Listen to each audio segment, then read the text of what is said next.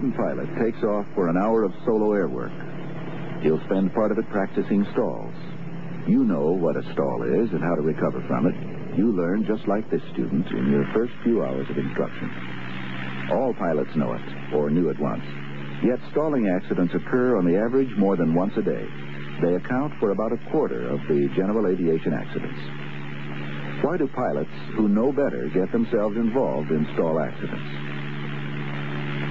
Not just the students and low-time pilots, but the average pilots and even the old hands with a thousand hours or several thousand. This film will review the information you need to know about stalls and about spins, when they're most apt to occur, how to recognize the onset, and how to recover safely. Let's make clear right from the outset that you can stall at any power setting, at any normal airspeed, and in any attitude pilots think of a stall as something that only happens when you slow down your airspeed, like this.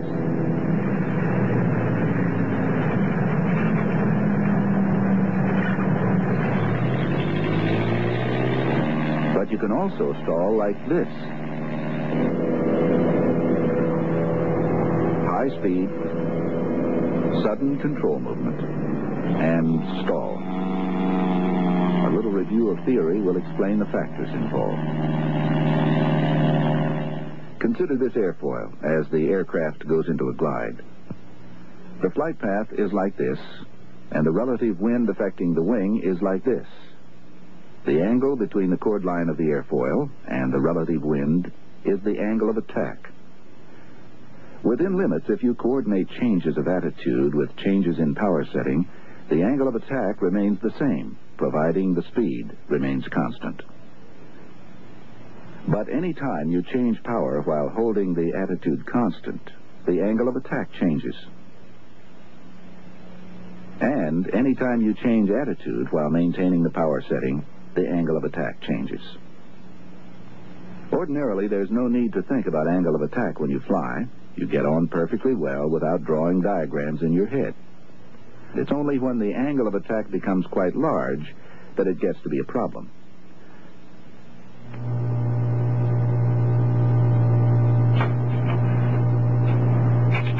The smoke tunnel lets you see what happens. First, from level flight, we pull up the nose. The angle of attack increases until finally the air can no longer flow smoothly over the wing. This is the critical angle of attack and the result is reduction in lift and the aircraft stalls. Now watch. The same thing can happen when you're in a climb. It can happen when you're in a glide. And it can even happen when you're in a dive.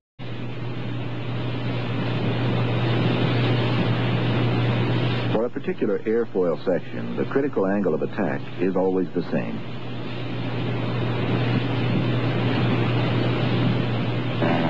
No matter what the attitude, power, and airspeed, the airfoil will always stall if it reaches the critical angle of attack. The important point is this. It's wrong to think of a stall as something that happens at a particular airspeed. The speed at which stall occurs depends on a number of things. For example, remember that stall speed increases with G loading. In this aircraft, flaps up, the stall speed in level flight is 72 miles per hour. The G loading of a 20 degree bank increases the stall speed slightly.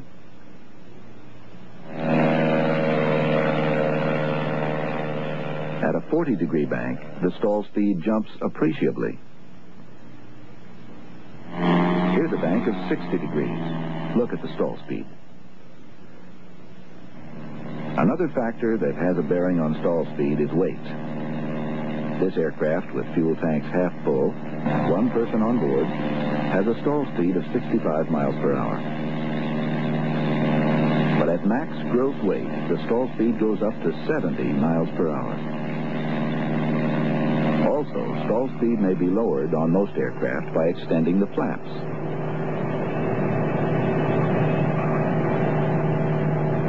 Curiously enough, power setting also affects stall speed.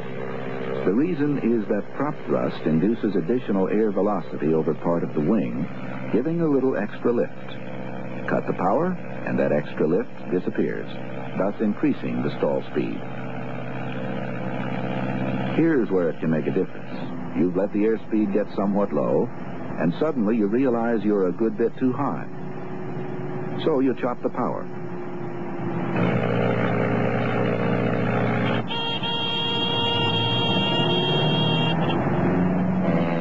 Off and go around. The moral is, don't chop power when you're too slow because power affects stall speed. Enough of the theory, let's get on to the flying. First topic, how do you know when you're approaching a stall? One way is from the stall warning device in the aircraft.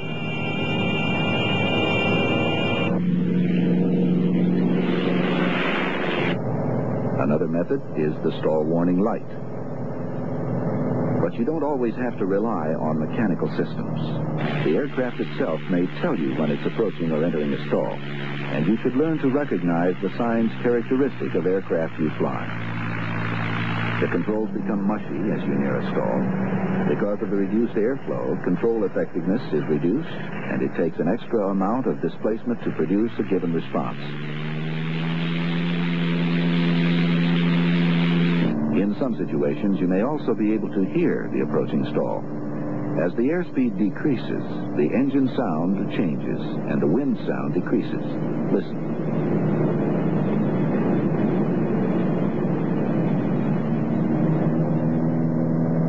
A heads-up pilot learns to use sound cues in a lot of ways. Some aircraft give another kind of indication of an approaching stall. They begin to buffet. As for what happens when the aircraft enters the stall, you don't have to be told about that. You already know that normally, in most aircraft, the nose pitches down and one wing may drop. These actions are usually more pronounced when you stall with power on. However, it doesn't always happen like that. Some aircraft can stall without a clean break. Picture this situation. You're on downwind behind a slower aircraft, and you've reduced power to keep from running him down. You realize you're losing altitude. So you add a little power and come back on the elevator. No effect. This time you pour it on and haul way back. Still going down. But look at your airspeed. You're in a stall. In this situation, the aircraft just mushes down. Power and back pressure won't help.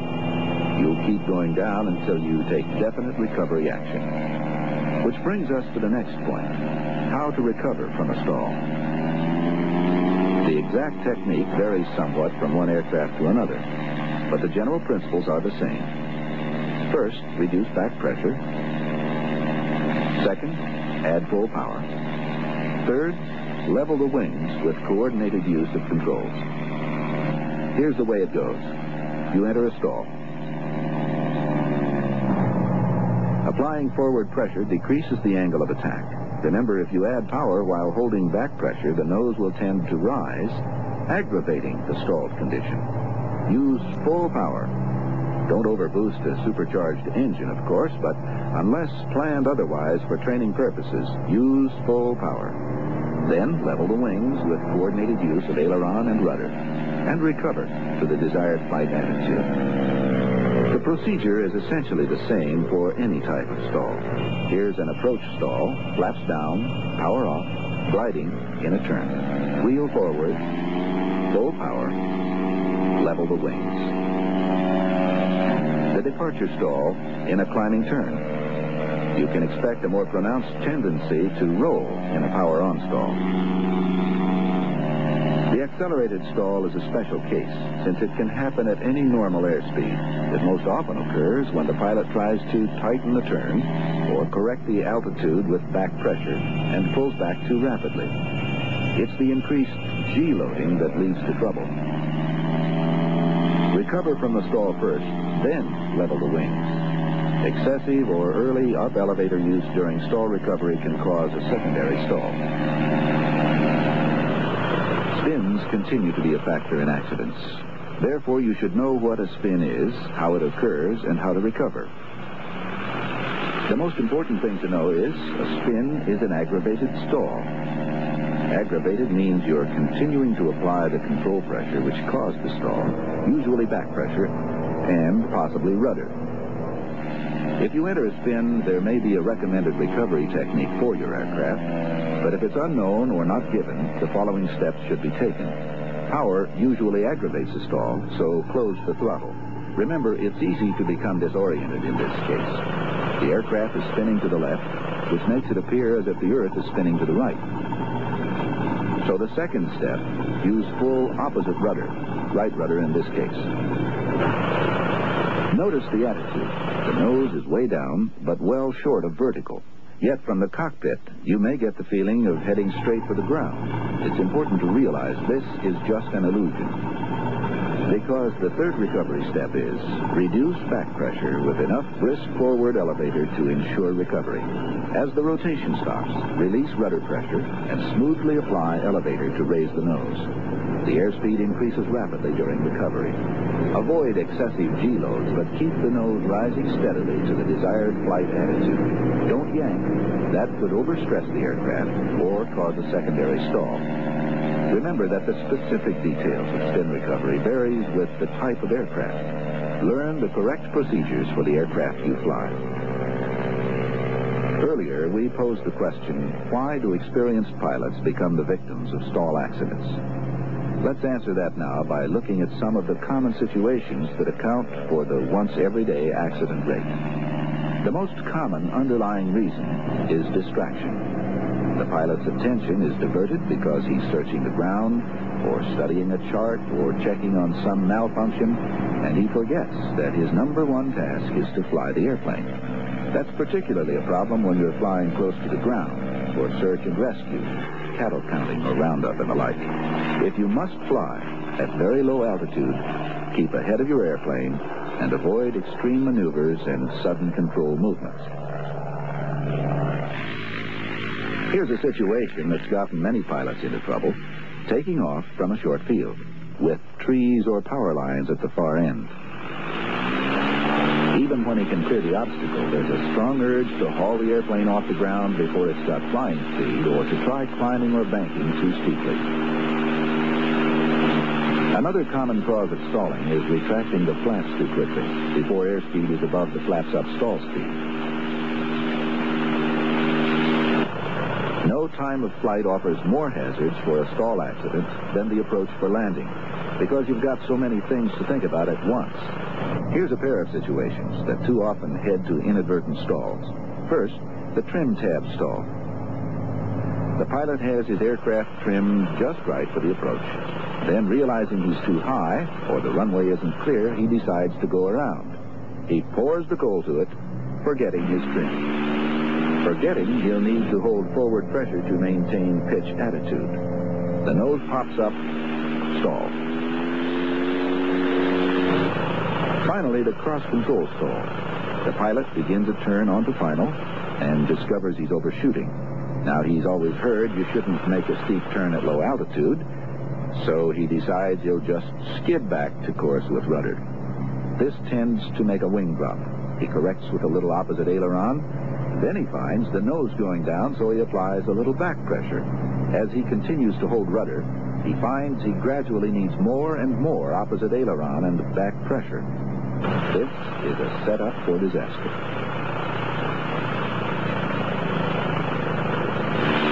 One last point, probably the most important point of all, yet the books never tell you. Imagine yourself there in the pilot's seat. You always practice stalls at altitude. But the unintentional stalls often happen near the ground. And here you may forget all the good practice. Technique says forward on the wheel. But your instinct says get away from the ground, pull up. Many pilots have become statistics because they listen to instinct in a moment of crisis. Panic is your worst enemy. So what's the answer? Practice. Practice flight at minimum controllable airspeed. An excellent way to keep proficient at recognizing the mushy feel of the controls that may warn of an approaching stall. And practice your stalls. Knowing their causes will help you avoid the inadvertent stall. Practice often. Make it a habit to go out and work on stalling for safety.